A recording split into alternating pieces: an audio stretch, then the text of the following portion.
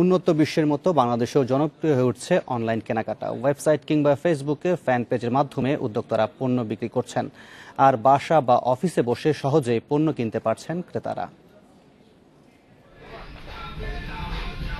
সময়ের পরিবর্তনের সঙ্গে সঙ্গে মানুষের জীবনযাত্রার মানেরও উন্নয়ন ঘটেছে। এখন মানুষ তার প্রয়োজনীয় পণ্য, বাজার বা শপিং মলে না গিয়ে ঘরে বসেই পেতে পারে। শুধু থাকা চাই একটি ইন্টারনেট সংযোগ। অনলাইনে কেনাকাটার জন্য এখন দেশে অনেক প্রতিষ্ঠান গড়ে উঠেছে। ক্রেতার চাহিদা মোতাবেক সঠিক পণ্যটি ঠিকানা অনুযায়ী পৌঁছে দেন তারা। মোবাইল বা কম্পিউটারের মাধ্যমে বাসা বা অফিসে বসেই অনলাইনে কেনাবেচা করা যায় প্রায় সব ধরনের পণ্য।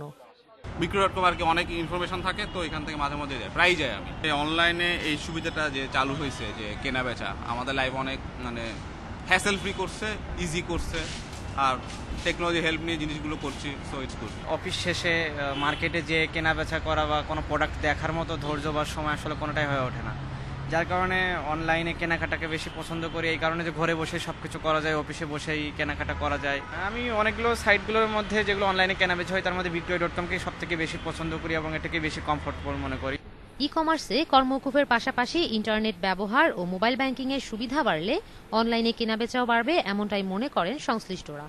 ফোর পয়েন্ট ফাইভ পার্সেন্ট যে ই কমার্সের উপর ব্যাট আছে, সেটা যদি সরকার আজ থেকে তিন থেকে পাঁচ বছরের জন্য জিরো করে দেয়, তাহলে কিন্তু অনেক ব্যবসায়ী আছেন যারা আসলে জিনিসের দোকানে বিক্রি না করে অনলাইনে বিক্রি করবে।